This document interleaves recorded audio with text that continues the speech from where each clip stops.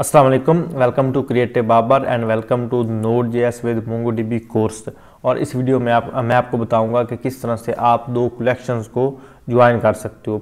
अब दो कलेक्शंस को ज्वाइन क्यों करवाना है? जिस तरह से आप माई में दो टेबल्स को ज्वाइन करते हो।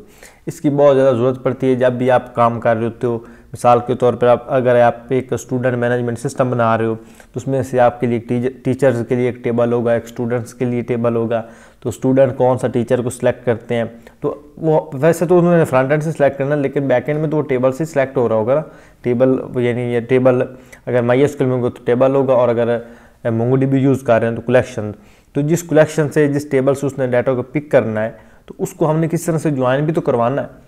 एज सच जो हमारे पास मोंगो डी में ज्वाइनिंग वाला फ़ंक्शन नहीं होता, क्योंकि ये ये आसानी के साथ ज्वाइनिंग नहीं करते। लेकिन अब इसका एक लोकअप एक न्यू एक फ़ंक्शन है समझ लें एक फंक्शनैलिटी है उसके ज़रिए हम दो टेबल्स को ज्वाइन कर सकते हैं। माई एस तो बहुत ज़्यादा आसान है ना।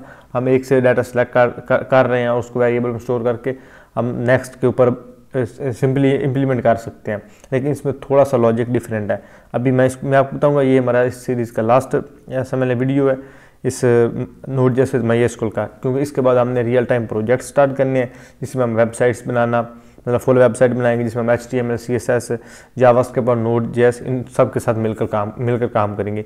जो कि एक्चुअल प्रोजेक्ट बिल्डिंग होती है जिससे हम पोर्टफोलियो में रख सकते हैं, जिससे हम एक्चुअल क्लाइंट जिन, जिनकी डिमांड करते हैं। अब फिर हम इसके बाद वो स्टार्ट करेंगे। तो इसको करने के लिए सबसे पहले अपनी डाटाबेस का नाम देंगे। किस डाटाबेस से हमने टेबल को लेना है? तो डाटाबेस मैंने इसमें स्टोर करवाई हुई है डी में। यहाँ पर मैं लिखूँगा डी और उसके बाद डॉट कलेक्शन यहाँ पे जितने भी कलेक्शन हैं वो हमारे पास कलेक्शन और अब कौन सी कलेक्शन हमने लेनी है?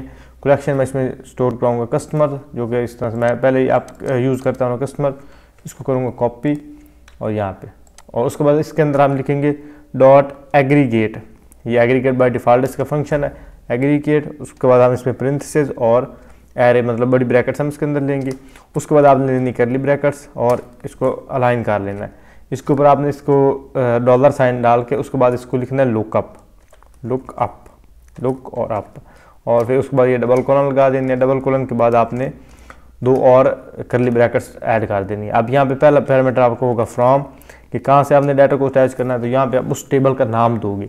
अब यहाँ पे हमारे पास सेकंड जो टेबल है, यहाँ पे मानता हूँ तो सेकंड टेबल हमारे पास स्टूडेंट्स है। ये मैंने अभी क्रिएट किया था, यहाँ से आप क्रिएट कलेक्शन पे क्लिक करोगे तो आप अपना नाम दे सकते हो यहाँ पे टेबल को। तो कोई भी यहाँ पे नाम रखोगे उसके बाद इसके अंदर ये डाटा है। अब डाटा को भी आपको, आप यहाँ से इंसर्ट कर सकते हो। सिंपली आप यहाँ पे ऐड डाटा पे आओ और यहाँ पे इंसर्ट डॉक्यूमेंट तो यहाँ से आप ना करें, आप यहाँ पे इसको क्लिक कर लें। ये एज अ लिस्ट आपके पास डाटा जो है ऐड हो जाएगा। तो यहाँ पे प्लस कर ऐड करके यहाँ पे न्यू फ़ील्ड ऐड करें।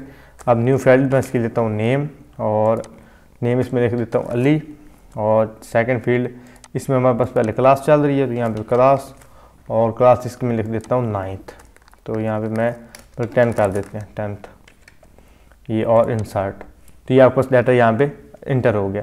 इस तरह से आप बैकेंड से भी डाटा जो है वो ऐड कर सकते हो। तो अब यहाँ पे हमने सेकंड जो टेबल है, जिसको अटैच करना वो स्टूडेंट्स है। इसको मैं करूँगा कॉपी और यहाँ पे।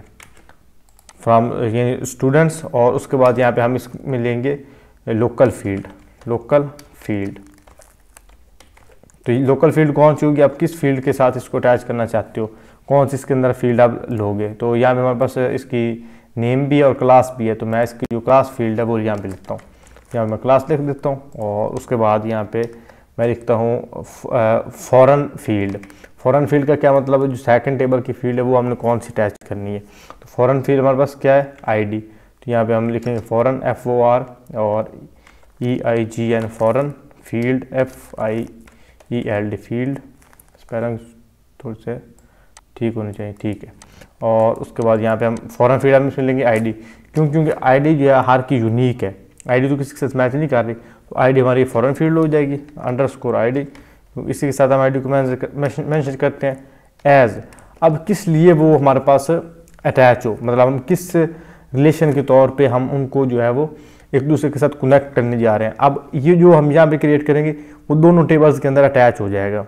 अब यहाँ मैं डिटेल्स डिटेल्स हैं, आपके प्रोडक्ट्स हैं, आपके स्टूडेंट और टीचर इंट्रैक्शन है, अगर मैं यहाँ पे लिख दूँ हमारे पास क्लास या क्लास के अलावा हम यहाँ पे क्लास हमने ऊपर यूज़ कर लिया है, हम यहाँ पे कर देते हैं स्कूल क्योंकि स्कूल मैनेजमेंट है ना, अगर यानी क्लास और टीचर इस तरह का रिलेशन बनता है तो स्कूल जो भी आप यहाँ पे नाम देखो, आप एज आ इसके प्रोडक्ट भी दे सकते हो, कोई प्रोडक्ट का नाम आप उसको एज आ डिटेल भी दे सकते हो, जो मर्ज़ी आप लिखना चाहो उसके अंदर आप लिख सकते हो। जिस फ़ील्ड के साथ आप उसको मैच करवाना चाहते हो। अब यहाँ मैं सेव करूँगा, अब रिज़ल्ट शो होंगे, आपको पता चल जाएगा। अब यहाँ पे आपने गौर से देखने रिज़ल्ट अच्छा सॉरी इसका भी रिज़ल्ट नहीं आएँगे। यहाँ पे बस बस ख़त्म हो रहा है ना, यहाँ पे एरे इसके बाद आपने लिखना टू एरे क्योंकि अभी हमने कोई चीज़ प्रिंट तो करवाई नहीं है। टू एरे और उसके बाद करली ब्रैकेट्स अब इसके अंदर आपने फ़ंक्शन डिफाइन करना करना है तो मैं एरो फ़ंक्शन यूज़ करूँगा। एरो फ़ंक्शन के लिए मैं फ़ंक्शन लिखने की ज़रूरत नहीं होती। यहाँ पे ई e आर और उसके बाद सेकंड इसको पैरामीटर आप रिस्पॉन्स देना चाहो रिज़ल्ट देना चाहो जो मर्ज़ी देना चाहो मैं इसको रिस्पॉन्स दे, दे देता हूँ। और यहाँ पे मैं इसको यहाँ पे अब इसमें सबसे पहले हम एरर को थोरो कर लेते हैं। इफ़ एरर अगर हमारे पास एरर आता है तो थोरो एरर थ्रो एरर और अगर एरर हमारे पास नहीं आता तो कंसोल डॉट लॉग जो है कंसोल डॉट लॉग इसके अंदर हमारे पास सबसे पहले जेसन क्योंकि जेसन डाटा हमारे पास आ रहा है ना जेसन डॉट स्ट्रिंगीफाई अब स्ट्रिंगीफाई से क्या होगा? जो आपका डाटा होगा, उसको ये इन स्ट्रिंग कन्वर्ट कर देगा। अगर आपका जेसन का डाटा ना जेसन का डाटा हमारा जावा के फॉर्मेट में होता है, उसको अगर हमने स्ट्रिंग में कन्वर्ट करना है तो उसके लिए हम लिखते हैं जेसन डॉट स्ट्रिंगीफाई और इसके अंदर हम रिस्पॉन्स जो है वो इस, क्योंकि जो हमारा रिज़ल्ट है, वो इसके अंदर स्टोर हो रहा है तो इसको यहाँ पे नीचे मैं कॉल कर लूँगा। और यहाँ पे सेव किया। आई यहाँ पे यहाँ पे डी बी डॉट क्लोज यहाँ पे डाटा को हम क्लोज कर देंगे और करेंगे सेव ये आ गया। अब ये नीचे आप डाटा देखो। अब यहाँ पे हमारे पास जो फ़र्स्ट फ़ील्ड है आईडी वो तो वहाँ मौजूद है नेम भी मौजूद है एड्रेस भी मौजूद है स्कूल जो है आईडी स्कूल जो फ़ील्ड है वो हमारी जो है कस्टमर्स वाली डाटाबेस कस्टमर वाली कलेक्शन उसके अंदर मौजूद नहीं है। सेम इस तरह से जो हमारे पास सेकेंड है नेम यहाँ पे विनोद एड्रेस और इसके अंदर फिर स्कूल अब ये स्कूल जो है, इसमें भी आ गया, इसमें भी आ गया। लेकिन अगर एक्चुअल हम जो है वो देखें, अगर यहाँ पे कस्टमर के अंदर तो कस्टमर के अंदर कोई स्कूल नहीं है। नेम है एड्रेस है आईडी है।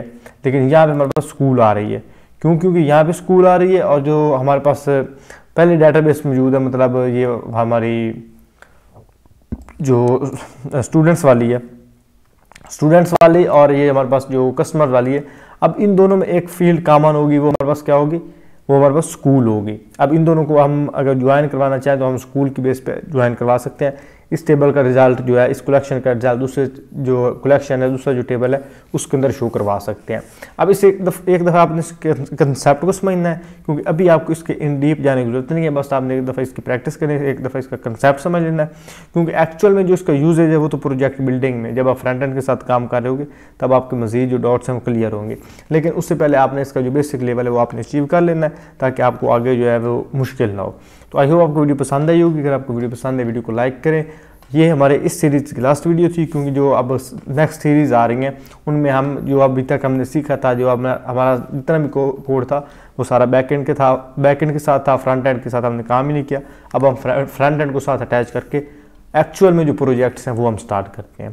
तो इन मिलते हैं कि प्रोजेक्ट्स में, तब तक के लिए अल्लाह हाफ़